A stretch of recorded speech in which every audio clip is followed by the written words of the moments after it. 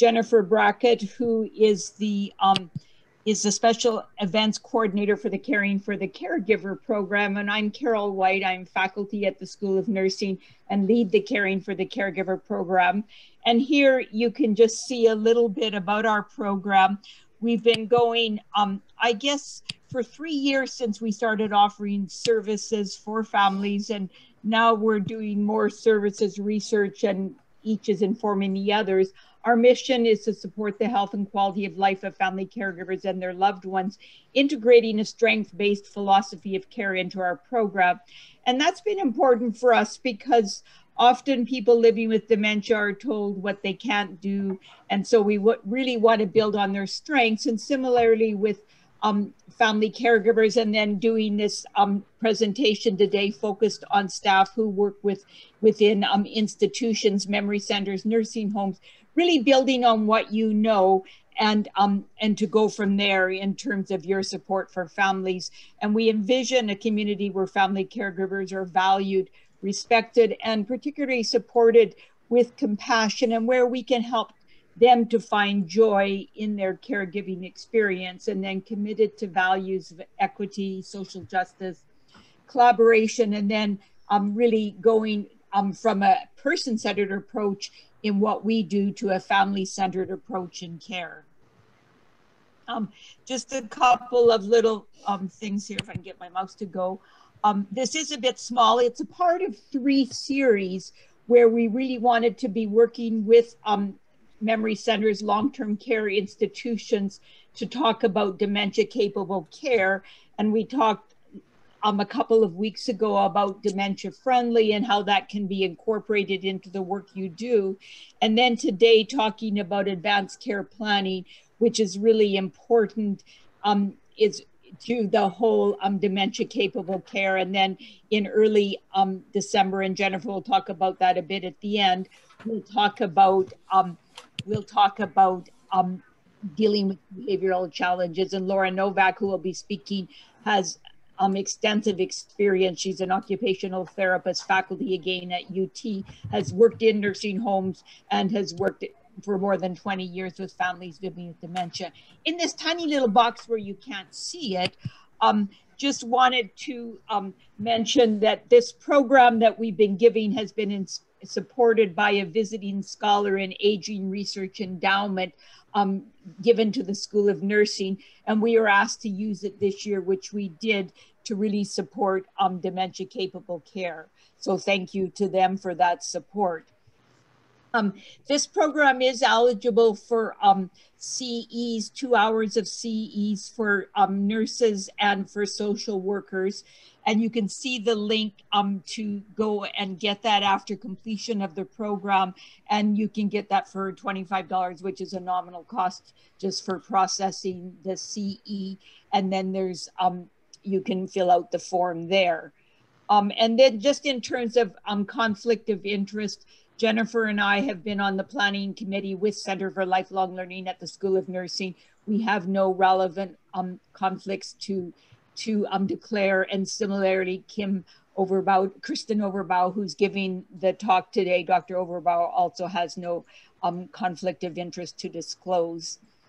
And then just the, the continuing education statement, which we need to read, is that they're accredited to provide a CE for this activity, which includes completion of the entire activity, which will be recorded.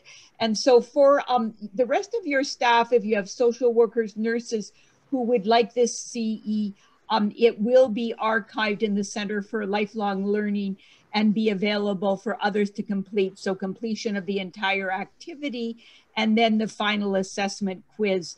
Um, you'll be, this is available for up to, or for um, two contact hours.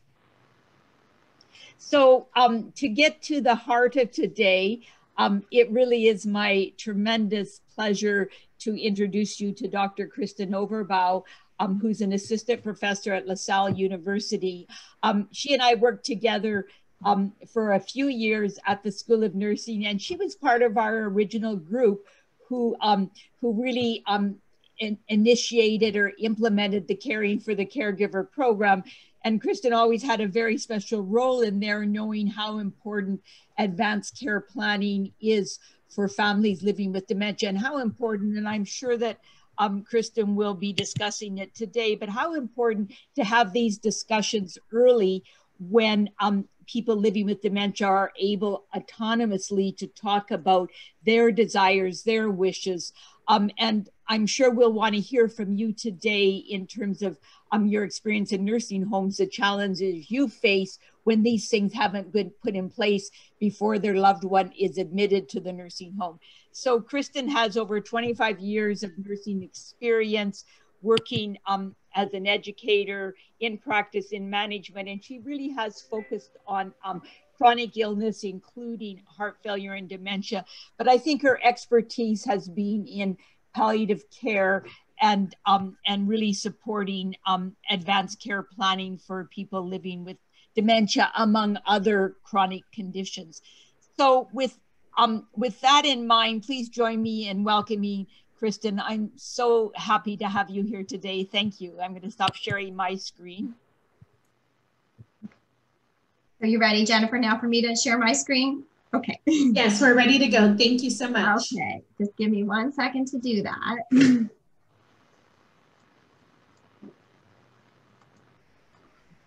Oops. Mm. Looks good. Thank you. Yeah, let me just get back to the beginning. We were we were practicing earlier just to make sure that the screens worked. Mm. I still can't get over how pretty these slides are. They really are. So sorry, here you're seeing the whole presentation before we even get started with it. so as I'm scrolling through this, I just want to um, thank Dr. Carol White and other members of the Caring for the Caregiver team um, I just saw Debbie White, I mean, Debbie, uh, Debbie James pop in. So, so hi, Debbie. It's so good to see you too. Um, I really want to thank uh, the Caring for the Caregiver team for inviting me to participate in this series on dementia capable care. I also want to thank all of you in the audience. I'm not sure exactly what role you play, uh, what your interest is in being here today. Um, but for those of you that are working in long-term care settings, I just really want to thank you for the care that I know that you're providing, you know, for people living with dementia and other chronic illnesses. Uh, and then if there's any family caregivers who are able to join us this afternoon, I just want to express my gratitude for all of the very hard work that I know that you do each and every day. So I do rec I recognize some sort of faces and some names, so I'm not sure if I've met some of you in the past, but um, again, I'm happy that you're with us today. I think that the last several months have, have challenged all of us in many ways. Um, certainly those of you working in long-term care and uh, families who have loved ones in long-term care settings. I think that the uh, pandemic has certainly made it more difficult for people to be together um, and in some cases, it's made it more difficult for individuals to make decisions regarding healthcare. So I think that um, advanced care planning is a really timely topic. And again, it's one that I'm very passionate about. Uh, feel free to, you know, uh, write questions in the chat as we're going through the presentation. Uh, certainly, I think we'll have time at the end of the presentation uh, to address questions. And I know that there's a lot of expertise in this area, in this area, in this room. Um, so I'm also very interested in hearing about your experiences. So I, I, think we're going to begin by defining advanced care planning. And I know that this may be review for some of you in the room, but our understanding of advanced care planning has really changed over the last several years. So I think that this is a important place for us to begin. We'll spend a little bit of time talking about the current state of advanced care planning in the United States, specifically in long-term care settings, and then in the context of dementia. And then we'll finish up by discussing some strategies that we can implement to more effectively um, promote advanced care planning for people living with dementia. So as I mentioned, uh, our understanding of what constitutes effective advanced care planning has really evolved over the last several years. So the focus is not only on the completion of legal documents, but also the importance of having advanced care planning conversation.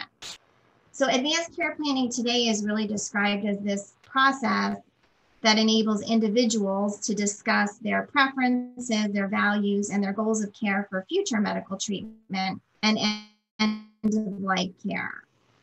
And so ideally, um, or ultimately, the goal of advanced care planning is to really ensure that an individual's wishes are honored at the end of their life should they lose the ability to either make these decisions or to communicate these wishes. Um, so at the center of effective advanced care planning really should be these meaningful conversations that individuals are having with their family members, their closest friends, and of course their medical providers uh, about what is most important to them as they consider these decisions.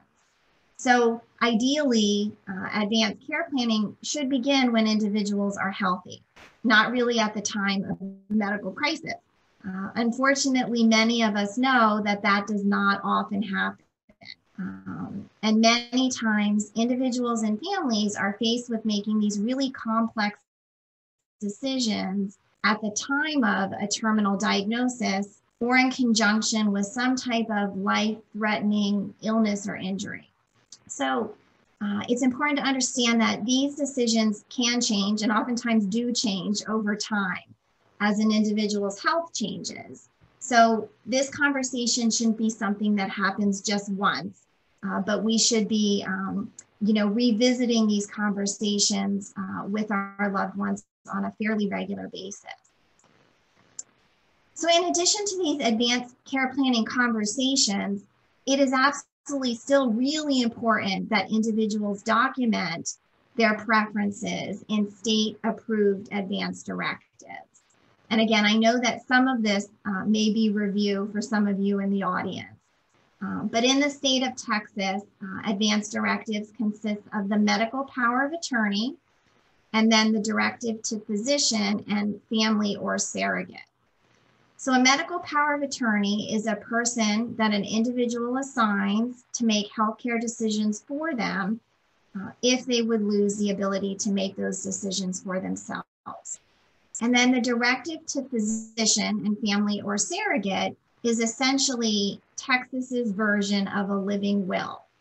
So this is where an individual documents if they would want life-sustaining treatment or alternatively treatment that focuses on comfort.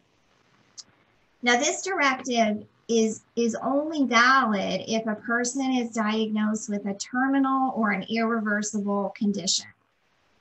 And any advanced directive is only applicable, it's only relevant if a person can no longer make decisions or no longer communicate decisions at any time point. So there's a variety of life-sustaining interventions that are addressed in advanced directive forms, and this will vary based on state law. Traditionally or typically, all advanced directive forms address CPR, cardiopulmonary resuscitation, and mechanical ventilation. And so that's a um, treatment that we provide for an individual who is unable to breathe on their own. And you may there, you may hear that referred to as um, artificial respiration wishes. Now, now some states like Pennsylvania, where I'm living now, they list very specific uh, interventions on their advanced directive forms. So in the state of Pennsylvania, um, uh, individuals can um, indicate their preference for things like dialysis, chemotherapy, radiation, and then um, medically um, provided uh, nutrition and hydration through a tube. And sometimes you'll hear that referred to as artificial nutrition and hydration. So these are the types of interventions that individuals should be including when they're having these advanced care planning discussions. I also want to take a minute and just talk briefly about an out of hospital DNR order.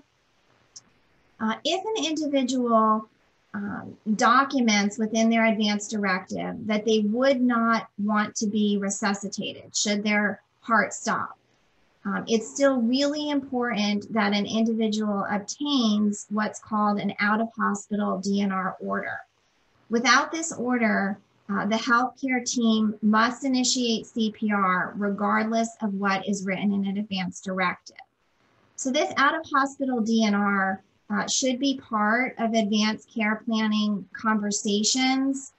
Um, you know, when a when a patient is admitted to the hospital, uh, the nurse will ask if they have an advance directive, and if the advance directive says that they do not want to be resuscitated, the nurse needs to communicate that to the provider, and then the provider will uh, sit down and verify that with the patient and the family um, and, and write an inpatient uh, DNR order for that person. If that person then is transferred home or back to a long-term care setting, um, it, it's important for them to have this out-of-hospital DNR order. Now, the other order set that uh, you may be seeing in Texas is called a MOST form. And this is a medical order for scope of treatment. Uh, and some providers, some facilities are, are using uh, this order set. Uh, and that's another order set that can document uh, that a patient would not want to be resuscitated. Uh, so I just wanted to mention those two forms because they're not, they're separate than what's in the advance directive, uh, but they're important to include in the discussion. So advanced care planning really helps to ensure that family members and healthcare providers are respecting an individual's right to autonomy. So, autonomy is an ethical principle uh, that essentially means that we're allowing an individual uh, to make their own decisions about their own health care. And sometimes you'll hear that referred to as self determination. So, so far we've talked about uh, rather advanced medical interventions. Um, but in addition to that, it's really important that when we're having these conversations with our family members, with our loved ones, that we're really taking the time to try to understand who that person is. Uh, what have they valued most throughout their life? Uh, what continues to be important to them today? Uh, what are the things that bring them joy, make them happy, um, for those of you who um, uh, are supporting people living with dementia, uh, you know that these questions are really, really important. Um, we know that dementia can take away not only an individual's memory, uh, but their sense of self. So it's so important that we do everything we can to really try to preserve that individual's personhood. And by asking these types of questions, uh, we are better able uh, to honor a person's uh, values and their preferences um, as we provide care for them. So let's talk just a little bit about the state of advanced care planning uh, in the United States. Um, back in 1991, uh, we implemented the Patient Self-Determination Act of 1990. Uh, and this, this is a federal law that requires all healthcare organizations to notify individuals on admission of their rights uh, in writing to advance healthcare directives. So although this law was implemented almost 30 years ago, we still have a significant number of Americans who have not completed an advance directive. Uh, back in 2017, there was a really large systematic review that was published, and it found that only 36% of adults in the United States had executed an advance directive. Uh, and this was a large study. It examined the prevalence of advance directives in almost 800,000 adults living in the United States. Now, the good news is that we're actually doing better in long-term care settings. Uh, almost 78% of individuals who are living in residential care communities have an advance directive on file. And that number has improved um, since 2004. Um, there was a large uh, national nursing home survey that was published at that time that some of you may be familiar with. And at that time, um, we found that 65% of individuals living in a nursing home had at least one type of advance directive on file. Now, this study also um, broke these data down by region within the United States and um, states sort of um, in the mountain region, so states like Colorado, Utah, New Mexico, uh, they had the highest percentage of nursing home residents with advance directives at almost 88%. And at that time, uh, Texas, uh, which is part of the Southwest Central uh, region, um, had the lowest percentage. Um, certainly that number could have changed over the last several years. Uh, and really what these numbers tell us is, is just that they have this documentation on file. They don't necessarily tell us if residents and family members have really engaged in meaningful conversations with their healthcare providers. And they also don't tell us if the care that the individual received was congruent with that person's wishes. So there's been a little bit of research uh, th that has looked at advanced care planning uh, for individuals living in long-term care settings. Uh, and what we know is that older adults living in these settings and their family members report little involvement with having advanced care planning conversations. Uh, they report being involved in uh, conversations about practical decisions, so things like finances and making funeral arrangements. Um, the older adults involved in these studies really expressed um, gratitude for the opportunity to be involved in these types of conversations. And their family members also shared very uh, positive feelings about, um, about being uh, included in these types of conversations. So both the residents and family members uh, prefer what we call a shared decision making model. And so many of you may be familiar with shared decision making. This is essentially when the resident and the family member partners with the healthcare provider and other members of the interprofessional team to make decisions. And so the healthcare provider's role is making sure that they're providing comprehensive, accurate information uh, to the resident and the family member so that they can make an informed decision. We want to really ensure that they understand their dementia diagnosis, that they understand the normal trajectory of dementia, and that they also understand the uh, potential um, treatment options, um, risks and benefits of those options. Okay, so as many of you know, uh, almost 50% of nursing home residents have either a formal diagnosis of Alzheimer's disease or other dementia.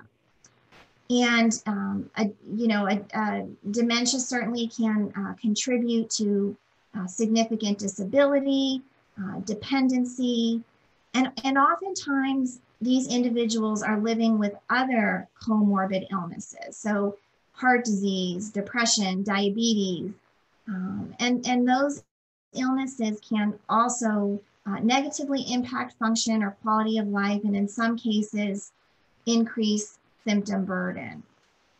So this is the population that uh, we're talking about uh, providing advanced care planning for today. And again, I know, I know that many of you are really familiar with this information. Um, but because dementia is a uh, progressive, a neurodegenerative uh, condition that impacts cognition, uh, impacts memory, person's ability to make decisions, a person's ability to problem solve, as Carol mentioned in our introduction, it's so important that we begin these advanced care planning conversations as early as possible. Uh, and sometimes that's a challenge because we know that individuals can struggle to receive a formal diagnosis of dementia. So you can see from these numbers that uh, dementia continues to really be a, a growing health crisis uh, across the globe uh, and certainly within the United States. Um, the most common cause of dementia, of course, is Alzheimer's disease, which accounts for 60 to 80, 80% of cases, and that's followed by uh, vascular dementia. Okay, so um, in addition to you know dementia being a progressive neurodegenerative condition, it, it, it's irreversible. Uh, we have to help people to understand that it is a terminal illness uh, that eventually results in a person's death from either the disease itself or from complications associated with dementia, uh, such as pneumonia. And I know that again, many of you are familiar with the stages of dementia, uh, which are typically classified as um, early, middle, and late, uh, with corresponding um, um, symptom categories. And individuals can progress um, through these stages at, at varying rates, but they typically spend the, the longest period of time in, in the middle phase, the middle stage. Um, when we when we start to identify uh, signs of early dementia, these mild symptoms, if, if a person hasn't engaged in advanced care planning, uh, we really need to um, you know make sure that we begin uh, some of these conversations. Okay, so what we know about advanced care planning uh, in dementia is that less than 40% of people living with dementia worldwide are given an opportunity to participate in advanced care planning conversations. However, those who are given the opportunity have some beneficial outcomes. Um, we, we see decreased hospitalizations, we see increased documentation of advanced care planning, but most importantly, we see an increased congruence between that individual's wishes and the actual care that they're receiving. Some studies have actually looked at advanced care planning for people living with dementia, specifically in nursing home settings. Uh, and some of these some of these studies included uh, the resident um, in the advanced care planning um, conversation and in order for the, the resident to be involved, uh, a provider had to, um, you know, determine that they had the capacity to participate. And so that essentially means that the resident has the ability to understand the nature of their decisions and the consequences of those decisions. But again, in these studies, we saw very similar out, uh, outcomes. And again, most of these were, were beneficial outcomes with again, the most important being that there was congruency between the individual's wishes and the care that the resident was receiving. So the majority of these uh, programs combined education with the implementation of decision aids or tools that served as prompts or triggers to uh, initiate ongoing uh, advanced care planning. Um, these interventions also found that when the provider uh, who knew the resident the best was involved in the process, um, care was improved. And that there's a need uh, to engage all staff um, in advanced care planning initiatives. By doing that, um, we're better able to improve the residents' participation. And we'll talk more about specifically, you know, how we can do this uh, on some upcoming slides. So this idea of determining capacity is probably one of the biggest challenges uh, in dementia populations. And again, I think the good news is, is that this is really a, a, a growing area of research. So there's a lot of people working really hard to try to figure out what is the best way for, for us to include people uh, with, with dementia um, in these conversations. Uh, what we do know is that people with dementia can participate in shared decision making. Uh, most of the studies have been done with individuals with, with early dementia. Uh, some studies have included pe people with moderate dementia. What they found is that using um, um, general cognitive assessments such as the mini mental state exam um, or, or a provider's assessment at just one time point are probably not really sufficient um, to make this uh, determination. Uh, they also found that these informal discussions that we're going to talk more about uh, can really provide very valuable information uh, to the healthcare team to ensure that we're really honoring a person's uh, values and their preferences for care. Okay, so let's talk about some uh, strategies that, that staff, that leaders can implement to more effectively promote advanced care planning. Uh, and the first and the most important, of course, is education, um, educating oneself and then educating the team that you're working with. And this is essentially what we're doing here today. Um, so it's important that you're educated on uh, state laws that guide advanced healthcare directives uh, in your area and that you're also really familiar with policies and procedures at your facility. So I'm really interested at the end of the session from hearing uh, from some of you on current policies and procedures um, that you that you have in place uh, to promote advanced care planning. Now, I think um, many of us learn best through experience. Um, so step two is encouraging all of you um, to discuss your wishes with the people that are most important to you uh, and to complete your own advance directive. Uh, and I know that many of you in the room today probably have done that. Um, but if not, um, doing so is going to help you to become uh, more comfortable with the process, more competent, more confident, and that's going to help you better assist residents and family members who are going through this process. Uh, so many of you may be familiar with some of the landmark cases that informed the Patient Self-Determination Act. So uh, names like Karen Quinlan and Nancy Cruzan.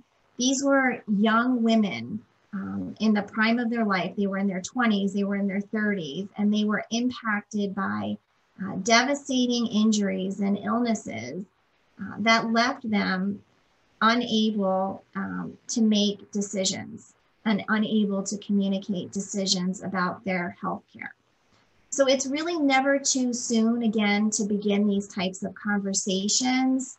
And we really like to frame it as if you're, um, you know, giving a gift to your loved ones. You're helping to reduce potential uncertainty that they might experience potential feelings of guilt um, that they could experience um, should they have to make these decisions for you uh, without really asking you what your preferences uh, would have been. Okay, so there are multiple resources out there to assist people in uh, beginning these conversations. And the Institute for Healthcare Improvement, in partnership with the Conversation Project, uh, developed what they call a starter kit. And this is specifically for families and loved ones of people with Alzheimer's disease and other forms of dementia. Um, and it, it helps um, individuals and families begin and continue these conversations.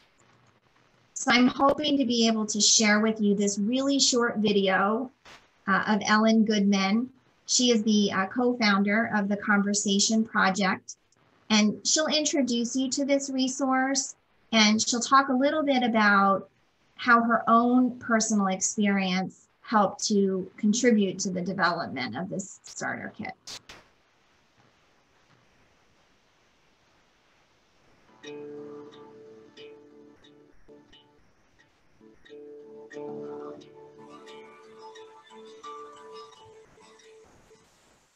Whole issue of Alzheimer's and dementia is close to my heart because it was close to my family. My mother suffered from dementia at the end of her life, and my sister had Alzheimer's. My experience caring for my mom at the end of her life was difficult. My mother and I had talked about everything um, except really one thing, which is how she wanted to live at the end of her life. I remember getting a call at the office and I was on deadline, and the doctor said she had pneumonia again. And did I want to uh, treat her with antibiotics? And I thought, excuse me, you know, could I call you back? Could I wait a minute? What are you asking? Do I want her to live or die?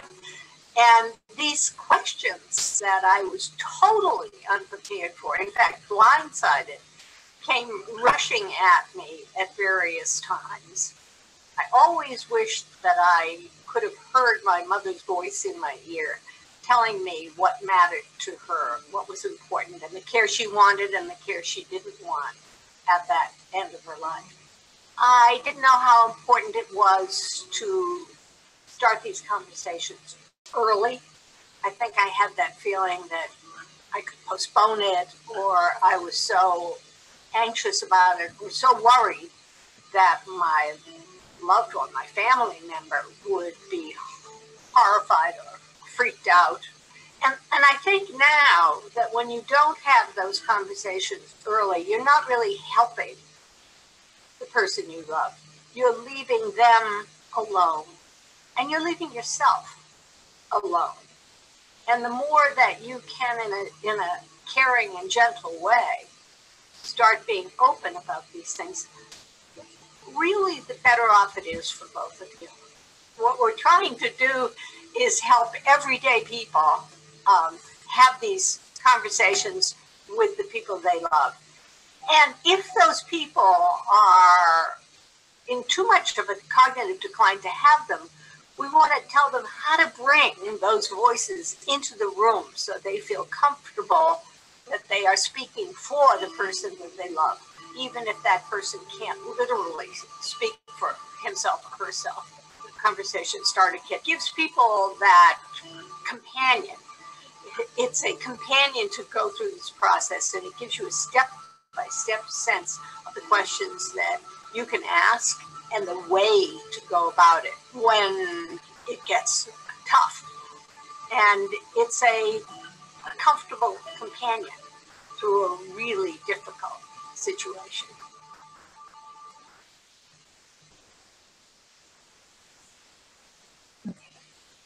So she's much more elegant than I could be um, in describing um, the starter kit um, for people living with dementia. So this is the starter kit might be a resource that you or your organization might be interested in reviewing. Uh, maybe something that you've already reviewed, but I thought it might be helpful for us to walk through uh, some of the components together. Um, and again, it acknowledges that there are certainly some um, special circumstances surrounding advanced care planning and dementia. And again, the probably the most important is that we want to begin this process as early as possible.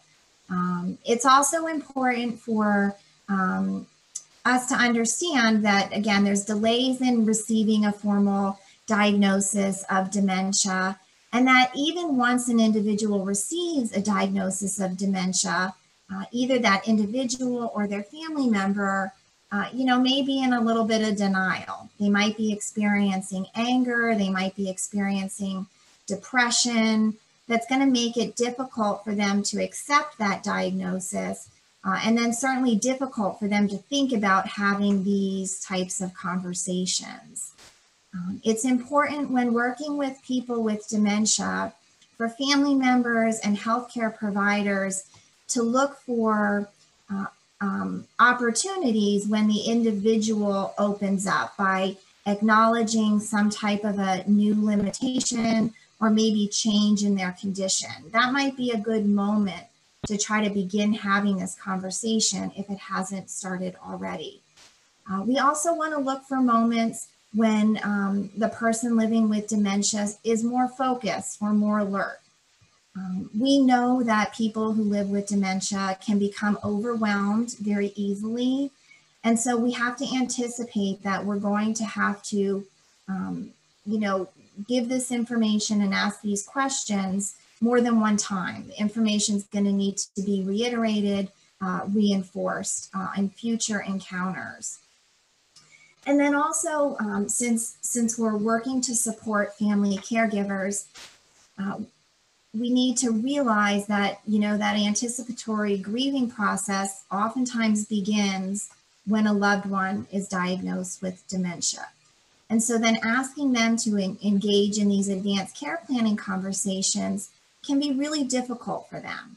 So we just want to make sure that we're doing the best that we can um, to provide them with emotional and psychosocial support, acknowledging uh, this is important, but yes, we know that this is really difficult for you.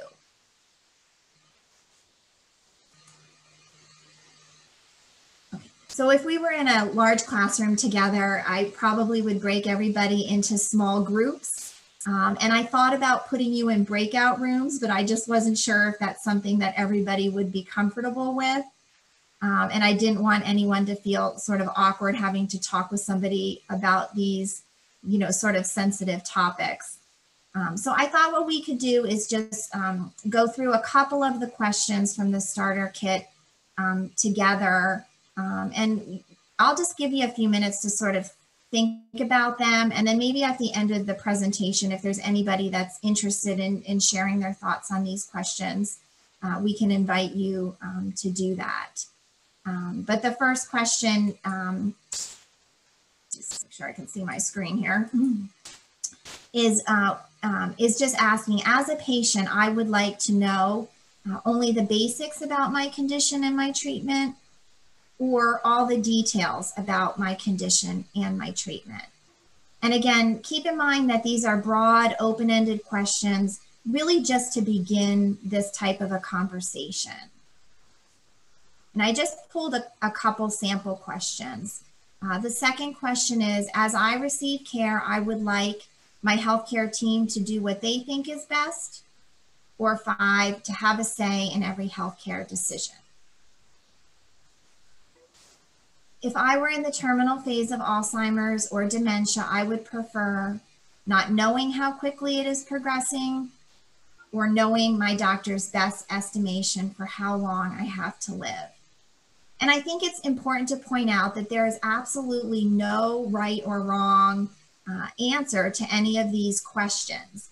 Uh, certainly, as healthcare providers, we're taught to provide patient and family centered care, which means that we need to incorporate a person's personal values, their family values, cultural values, religious values, spiritual values into their care.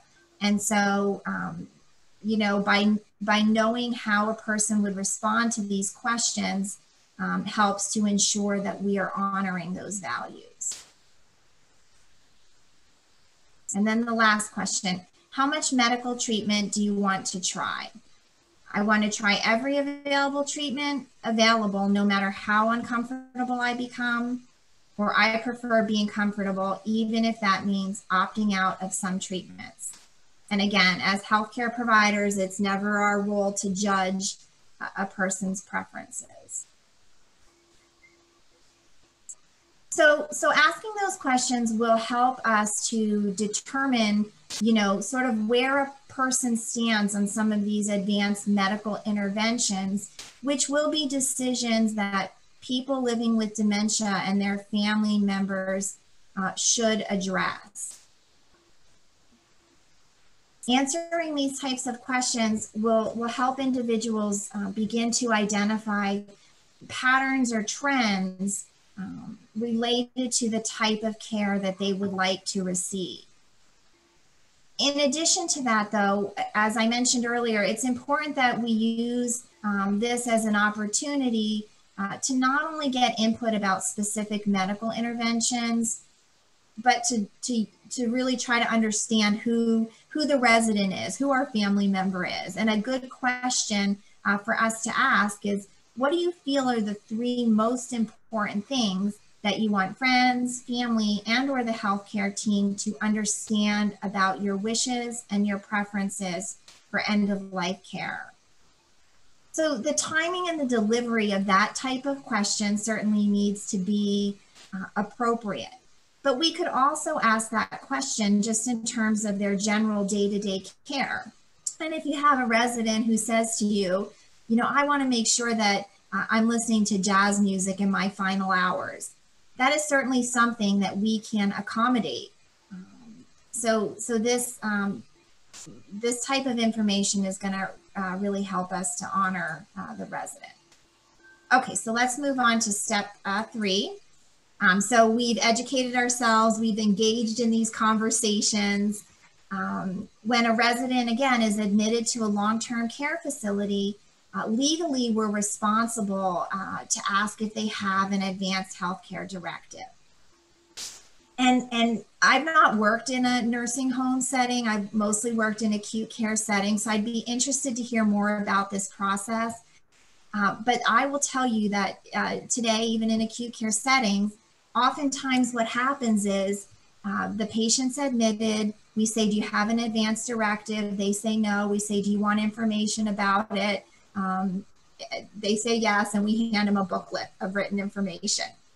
Um, they may tell us they have an advanced healthcare directive, and then we say, Can you bring us a copy? They bring us a copy, and we file it either in their hard chart or we put a copy of it in their electronic health record. But we don't really use this as an opportunity um, to provide them the type of education that they really deserve on advanced healthcare directives. A resident may have completed their advanced healthcare directive 30 years ago and never really reconsidered these decisions in the context of a new diagnosis. They may not have had a recent conversation with whoever they've assigned to be their medical power of attorney.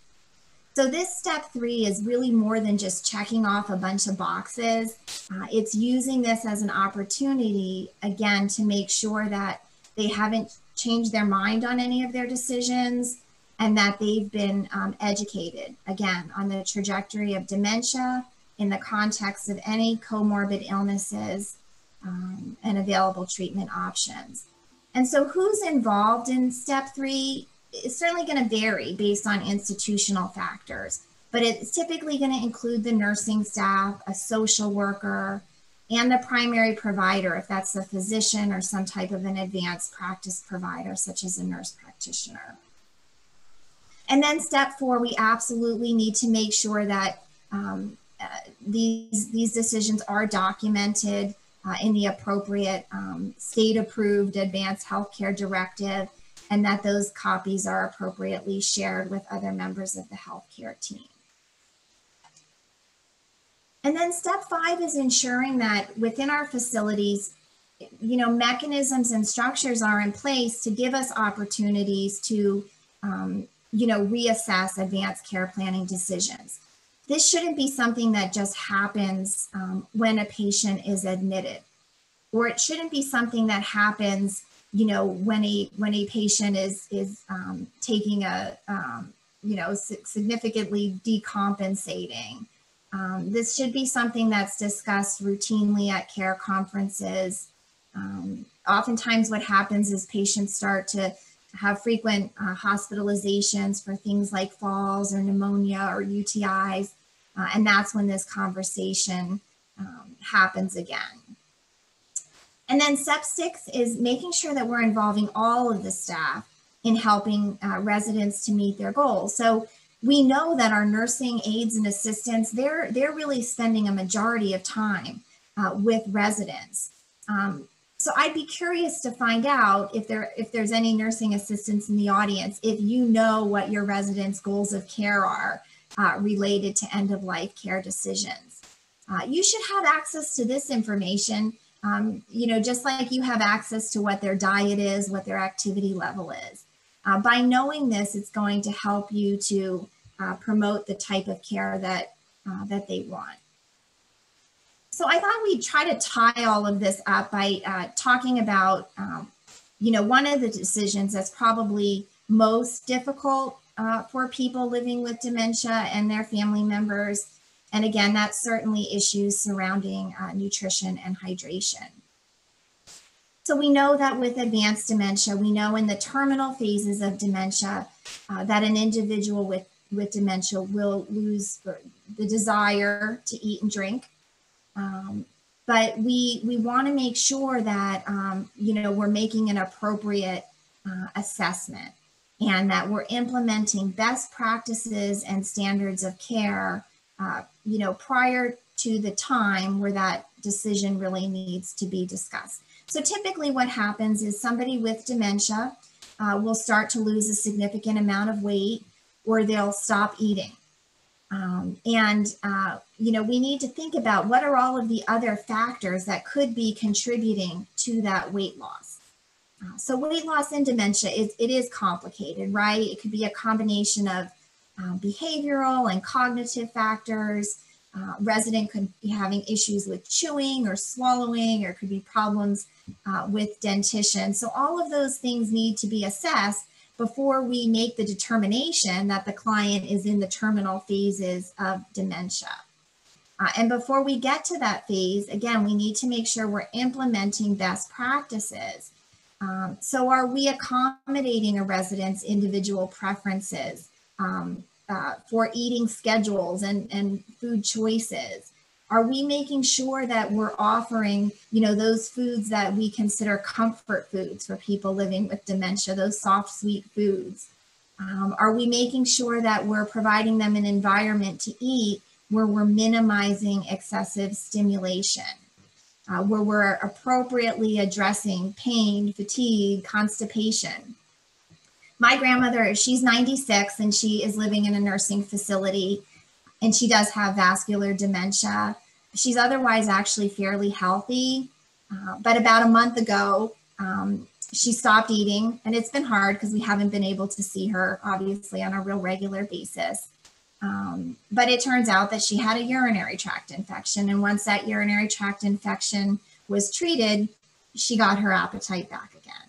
Um, so, so again, we just want to make sure that we're doing everything we can to support a person with dementia's nutrition and hydration before they actually get to that terminal phase uh, where they where they do indeed um, you know stop wanting to eat and drink.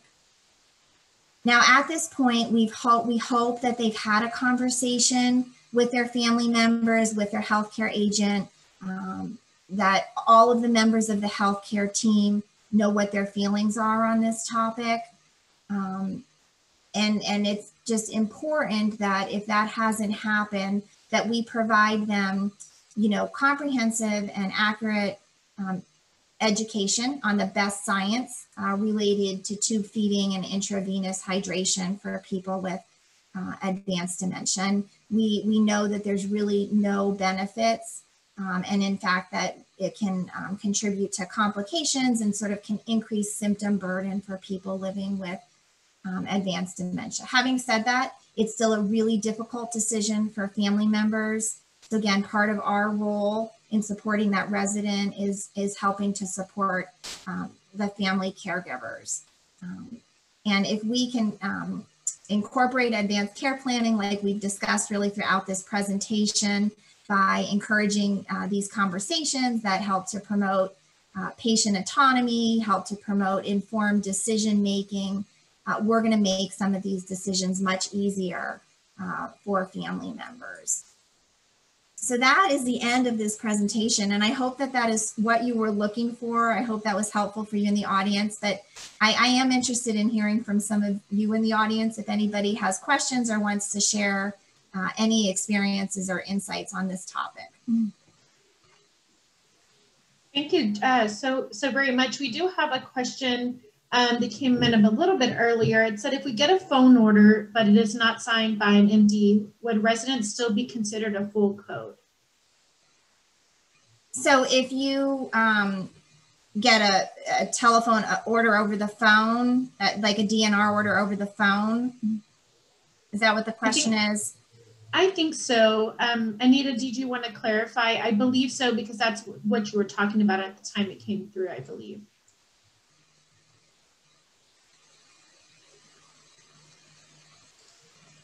Sorry, yes, could you hear me? Yes, thank you. Yes, my question was actually that if we get an order over the phone, a telephone order, um, would that still be considering them a full code until we get the advance directive signed out of hospital DNR, correct? Yeah, so, and to be honest with you, uh, Anita, I probably will need to follow up on that um, to find out what the policy is at your facility. Um, most of the time, uh, before a provider uh, can initiate a DNR order, they need to document that they've had a conversation um, with either the patient, if the patient can participate, or their family member. Because usually when they come in, um, sometimes it's happened before where they come in from the hospital and they are full code. And then they stay long term and down the line they want to change to DNR. So the doctor's not in, but we do get an order for the DNR, but it's not actually signed. The telephone order was not actually signed. Now we're paper paperless, we're, we're going all computerized now. Um, I would think they would, I mean, would they still be considered a full code until we get that out of hospital DNR signed by the MD? Yeah. So I, again, I probably will need to clarify that. Anita, what facility are you working at? In uh, Morningside Manor. Morningside Manor. Okay. And have you gotten any guidance at all from your uh, leadership or your administrators there? Well, we we we have, and um, I have this conversation. I know they're for me, they're still considered a full code until we get that out of hospital DNR signed. Some of the nurses I have to re-educate and reiterate, reiterate that importance that it has to be signed yeah. in order for them to be a DNR. Yeah, that's what I was thinking, and I just wanted to be sure that first you didn't have some type of policy or something like that. No, no, no, no, no, no. Yeah, no. yeah, I I agree with you. I feel like that is the right answer to that question. Yes. Yeah. Mm-hmm. And it is a more difficult question, I think, in a residence because it's not like the acute care where you have physicians every day. Sometimes Yes. Yeah. they're coming mm-hmm. not as often. So, yeah, that's a really important question, Anita. Thank you. hmm Yeah. Mm-hmm. Thank you.